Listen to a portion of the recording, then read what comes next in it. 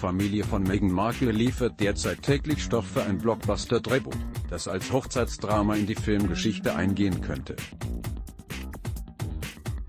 Megans Halbschwester sorgt für Drama und das alles kurz vor der Traumhochzeit des Jahres, die für die Harkles, so werden Meghan, 36, und Prinz Harry, 33, von den US-Medien bezeichnet, der schönste Tag in ihrem Leben werden soll.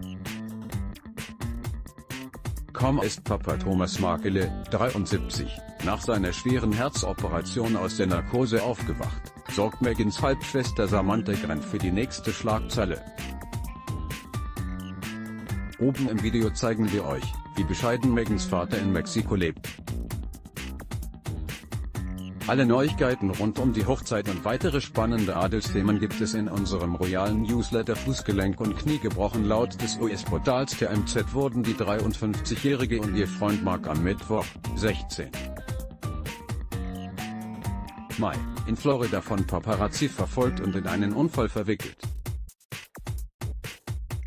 Kurz vor einem Mauthäuschen soll ein Fotograf vor dem Auto des Paares eingeschert sein, um ein besseres Bild zu bekommen. Mark hätte das Steuer nach links gerissen, um ihm auszuweichen und soll dabei auf eine Betonabsperrung gekracht sein.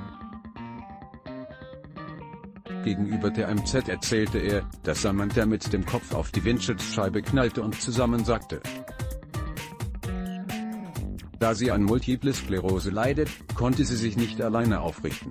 Mark hätte sie mit einem verdrehten Fuß ins Krankenhaus gefahren. Dort hätten die Ärzte ein gebrochenes Fußgelenk und ein gebrochenes Knie diagnostiziert. Der Paparazzo soll Fahrerflucht begangen haben. Wenn ihr wissen möchtet, wen Meghan und Harry als Blumenkinder für die Hochzeit ausgewählt haben, klickt unten auf das Video. Papa Thomas Markle darf sich nicht aufregen man kann sich nur wünschen, dass Thomas Markle der SR nichts von diesem Unfall erfährt, denn seine Ärzte haben um äußerste Ruhe gebeten. Er dürfe sich auf keinen Fall aufregen. Der ehemalige Lichttechniker hatte vor kurzem erwähnt, dass die gemeinen Intrigen seiner ältesten Tochter Samantha und der böswillige Brief seines Sohnes Thomas Markle Jr seinen zweiten Herzinfarkt ausgelöst hätten und er deshalb operiert werden musste. Ich bin okay, aber es wird eine lange Zeit brauchen, bis alles verheilt ist. Ich muss noch einige Tage im Krankenhaus bleiben, verrät Makela SR. Am Mittwochnachmittag, 16. Mai, Ortszeit bei der MZ. Gut, dass es wenigstens Megans Mutter Doria Rakland, 61, unversehrt und ohne Drama nach London geschafft hat.